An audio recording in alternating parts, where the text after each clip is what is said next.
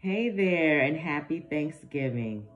And this devotional today is um, to celebrate all the hardworking women out there. It's about Dorcas, November 23rd, Conflict and Courage, the first Dorcas. Acts 9, verse 36 says, Now there was at Joppa a certain disciple named Tabitha, which by interpretation is called Dorcas. This woman was full of good works and alms deeds which she did. Proverbs 31 woman. At Joppa, which was near Lydda, there lived a woman named Dorcas, whose good deeds had made her greatly beloved. She was a worthy disciple of Jesus, and her life was filled with acts of kindness. She knew who needed comfortable clothing and who needed sympathy and she freely ministered to the poor and the sorrowful. And it came to pass in those days that she was sick and died. Hearing that Peter was at Lydda, the believers sent messengers to him.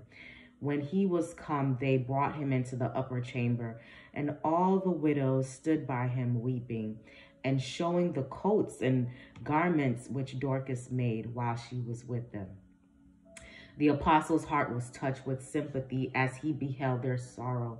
Then, directing that the weeping friends be sent from the room, he kneeled down and prayed fervently to God to restore Dorcas to life and health. Dorcas had been of great service to the church, and God saw fit to bring her back from the land of the enemy.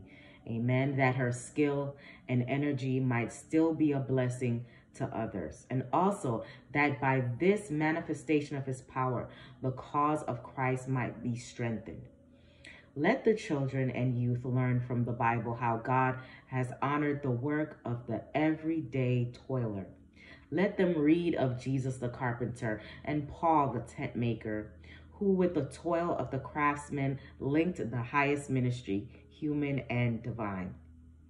Let them read of the lad whose five loaves were used by the Savior in that wonderful miracle for the feeding of the multitude. Of Dorcas, the seamstress, called back from death that she might continue to make garments for the poor.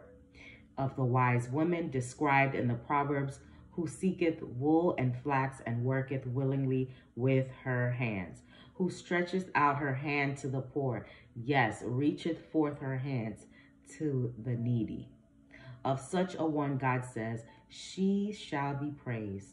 Give her the fruit of her hands, and let her own works praise her in the gates. Hope you have a great day today. Live courageously.